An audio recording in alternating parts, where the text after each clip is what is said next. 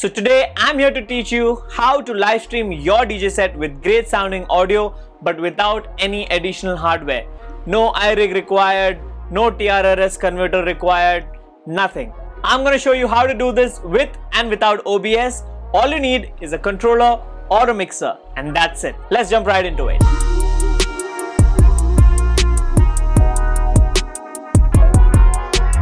What's good you guys, my name is Deep and welcome to my YouTube channel. This is where I do a lot of DJing related tutorials, tips and tricks to help you become a better DJ. So if you're new here, consider subscribing. So most of the DJs around the world have finally sorted their live streams with great sounding audio and video using OBS and several different methods. But because of the current world situation, there are a lot of us out there who do not have access to or can't acquire the iRig 2 or a TRRS converter like the Rode SC4. And even worse, some of us do not even have the DJ equipment. All you have is a controller. And that's quite obvious. Most of the DJs out there will not have CDJs and mixers at home. What they will have instead is a DJ controller. So today I'm here to teach you the easiest way to live stream your DJ sets with great sounding audio if you have just the controller or a mixer. And no, you don't need the iRig 2 or a TRRS converter. And this method will work for both laptop and a desktop and it will work in both Mac and Windows. Method 1. Great sounding audio without using OBS.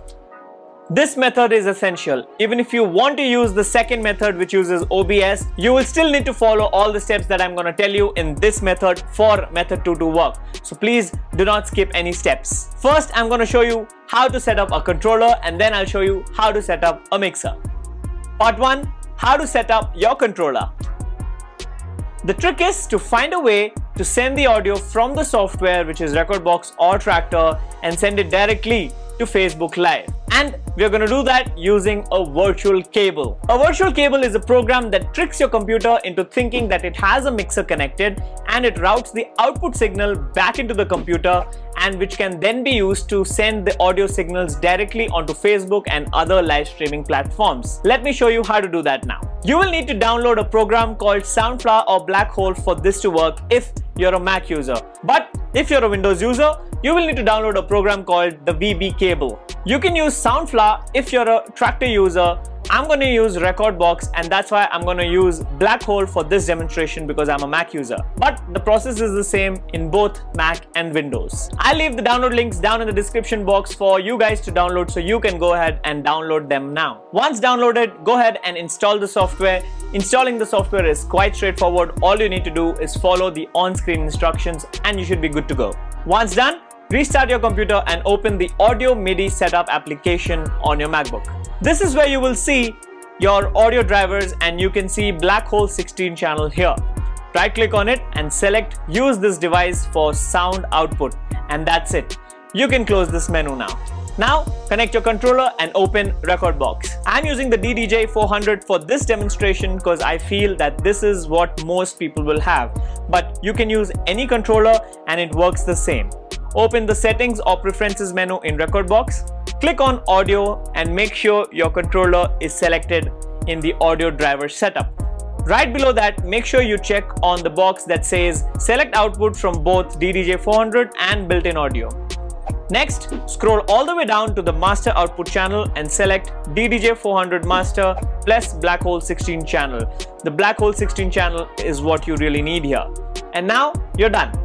Now all you need to do is open your browser and go to facebook.com. But make sure you're using the Firefox browser because this method doesn't work with Chrome or Safari. So if you don't have Firefox, first download Firefox from the website and then go to facebook.com. Once you're on Facebook, go ahead and click on the Go Live feature. Once you select Go Live, you can then select your camera that you want to use as a video device and in the order section is what you need to pay attention. Select the Blackhole 16 channel instead of anything else and that is what will route the signal from within your computer directly onto Facebook. And that's it. You can go live directly from here with great sounding audio and it's that simple. Part 2 is how to set up your mixer to do the same. If you're a DJ who has a mixer, what you need to be sure of is if your mixer has a sound card or not. If your mixer has a sound card, you can follow the steps that I'm going to show you now. This method will not work if your mixer doesn't have a sound card. Look for a USB type B slot on your mixer and if you have that, you should be able to use this. I have a few mixers here that I can show you. This is the DJM 900 Nexus 2 and this is the DJM 450 and this is the DJM 250 Mark II and all these mixers have a sound card. The setup process is almost the same for any mixer that has a sound card. Let me show you how to set it up now. Step 1 is obviously connecting your mixer via the USB cable to the computer and open the driver settings utility. If you don't see this option, make sure that the drivers are installed and restart your computer. Once you open the settings utility, you will see a screen like this. This is where you can see your mixer is connected. Once connected, all you need to do is change two settings. First thing that you need to do is go to the mixer output section and select mix record out in USB channel 1 and 2. And the second thing you'll have to do is change the USB output level from minus 19 dB which is by default to minus 5 dB. You will have to do this because you need to have enough headroom for your live streams without distorting the signal. If you maintain a good healthy signal on your mixer, your live streams will sound amazing. That's about it from here. You can close this application and you can go to the browser and go live on Facebook directly. The process for going live is the same. Open Facebook, select your camera and this time in the audio section, select the mixer that you want to output the signal from. In this case, I'm going to use the Nexus 2, but if you have the 250 or the 450, select those and that's it. Click on go live and you should be good to go. So that's how easy it is to live stream your DJ set with great sounding audio. But make sure you use the Firefox browser because Safari and Google Chrome do not support this feature at the moment. Now, if you want to make your live streams even better or for some reason method 1 doesn't work for you, let me show you the next step in this process to make it work using OBS. Method 2. Setting up OBS for great audio and video. As I mentioned in the beginning, method 2 requires you to follow all the steps from method 1 as well. So make sure you follow all the steps that I mentioned in method 1 otherwise you will not be able to use method 2. In this method, we're going to use OBS as a platform to live stream your DJ set. So OBS is just a broadcasting software that helps you do that. Once you're done setting up your controller or the mixer like I showed you in method 1, all you need to do is go ahead and download OBS from the official website and install it. I'll leave links down in the description box along with all the other information and details. Installing again is quite simple. All you need to do is follow the on-screen instructions and you should be fine. Once it's installed, open the application and you will see a screen like this. At first, this may look a little confusing, but trust me, it's easier than mixing two songs. So I'm sure you can do it too. As I mentioned earlier, we're just using this program to set up a professional live stream. So we are going to do this in three simple steps. Step 1 is setting up your native resolution. Step 2 is setting up the scene and the source. Step 3 is setting up the stream itself. Now the first thing that you need to do is set up the resolution. In OBS, open the preferences or settings and then go to video. Change the base and output resolution to 1280 into 720 and this will give you a nice full screen experience. Step 2 is setting up the scene and source. Click on the plus icon here and name it whatever you like.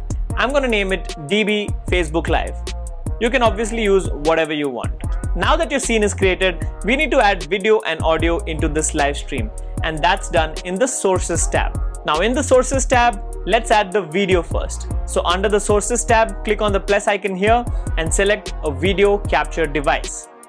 Name it whatever you want. I'm just going to name it DB Live Camera Angle 1 and click OK. Now the Properties tab will open up. This is where you will select the device that you want to use for capturing your video. I'm going to use the webcam for this purpose, but you can use the built-in camera as well. Select the device and select the resolution to the highest possible for the best video output and then click OK. Now your video is added, but we still need to add the audio. For that, once again you will click on the plus sign here in the sources tab and click on add new input capture device. Again, you can name this whatever you like. I'm just going to name it DB Live Audio and click OK. Now this is where you need to pay attention.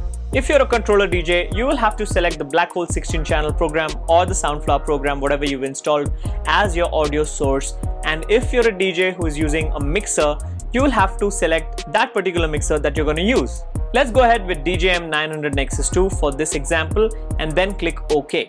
And that's it. Your scene is set and your sources are ready. Next is the audio mixer. Play something and check that the signal here looks healthy.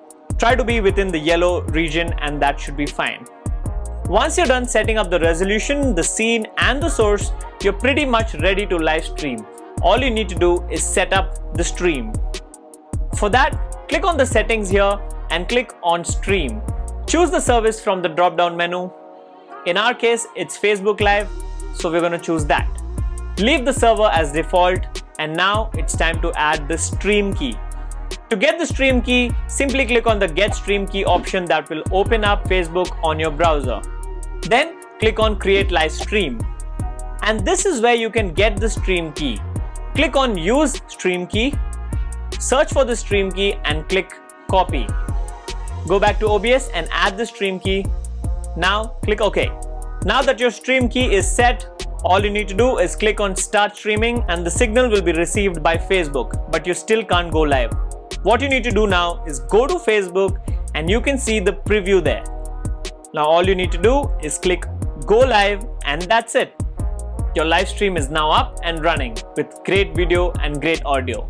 Now that's how easy it was to set up your live stream with great sounding audio and you also got to learn the basics of OBS. If you think this is too complicated, you can go ahead and check out my other videos where I showed a few more ways of going live. I'll link them down in the description box as well. We have just touched the surface of using OBS and creating a professional live stream. There's a lot more you can do like adding graphics, adding a green screen, adding your logo, adding multiple angles, creating multiple scenes, switching between different scenes. All of that is possible within OBS. I can show you how to do that, but I know someone who can do this better. And that person is my brother Jasmeet. In fact, he was one of the first people here in Bangalore, if not India, to start a stream like this before everyone else followed. And all this is a bit more advanced. So if you're interested in something like this, please comment in the comment section below and let me know. And I shall bring him to my studio and we will show you how to set up an even more professional live stream. And even if you don't comment, I will still convince him to come to my studio and do this video and that video will come out soon. So don't forget to subscribe to my YouTube channel so you don't miss that video when that comes out. I really hope that you guys enjoyed this informative video and learned a lot of things today. I absolutely love doing these tutorial videos and teaching you guys. I hope you love them too. That's it for today guys. I hope to see you guys in the next one. Happy to help.